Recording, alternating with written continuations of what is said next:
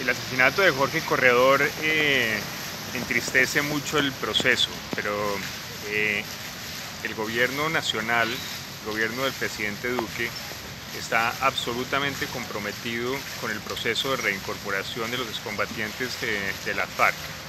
No solamente, como consta, hemos eh, acelerado todos los procesos de reincorporación socioeconómica, sino que el tema de seguridad es una absoluta prioridad para nosotros.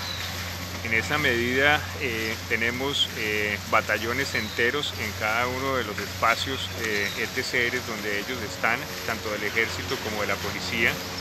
tenemos esquemas eh, para poderlos proteger de parte de la unidad de protección Em, ahí trabajo yo personalmente en la mesa técnica identificando esas necesidades de protección. Tenemos en este momento más de 200 esquemas de, protección.